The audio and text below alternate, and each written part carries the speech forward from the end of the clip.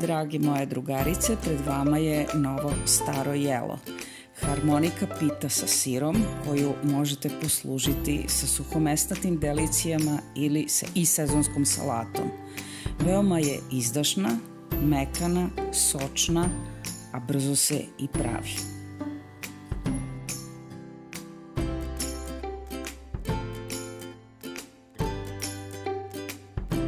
Pa da počnemo. Stavit ćemo 600 grama sira po vašem izboru.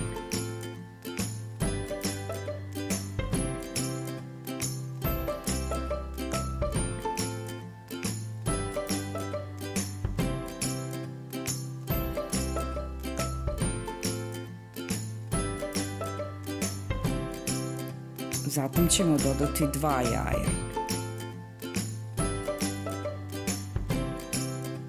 To je sasvim dovoljno jer će druga dva jaja ići u preliv.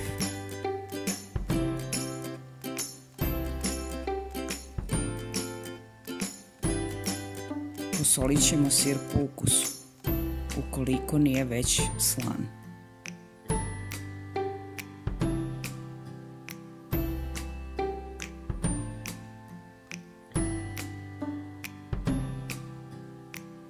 Podmazat ćemo pleh sa uljem.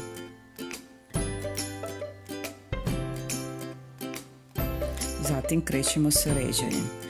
Jednu koru ćemo postaviti dole na dno pleha. Ja koristim heljdine kore kad god mogu, zato što mislim da su zdravije. A heljdine kore imaju tendenciju da se cepaju i zato mi je ova pita i način slaganja bio zanimljiv i odgovarajući jer ne moram da se mučim, Slag, slažem je kao harmoniku. I tako redom premazujem kore sa filom i slaže se kao harmonika dok se sve kore ne utroše.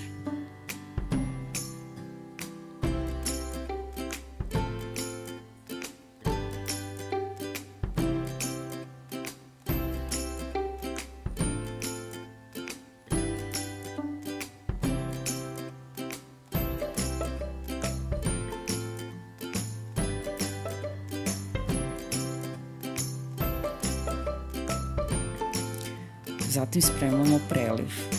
Preliv ćemo spremiti od jedne čaše milerama i dva jaja.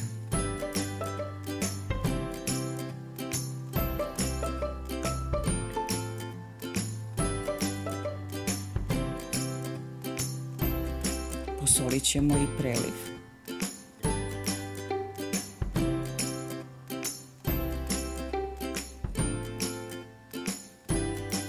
Stavit ćemo preliv preko pite.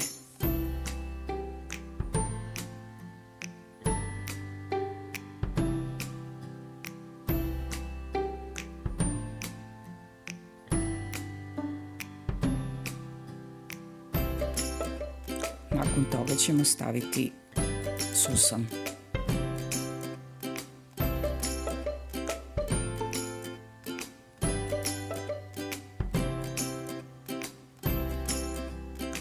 Što bogatije to bolje.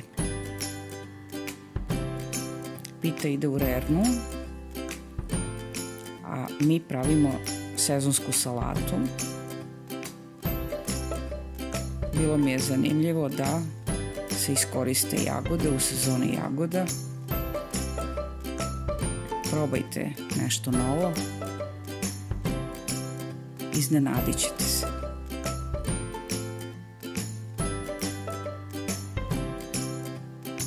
Dobit ćete lepu i osvežavajuću salatu. Nije sve u paradajzu.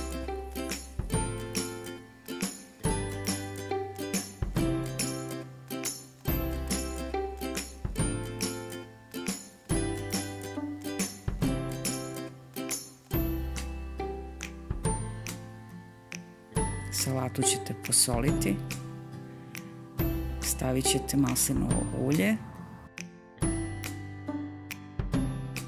sir će vam ne treba. I evo ga krajnji rezultat.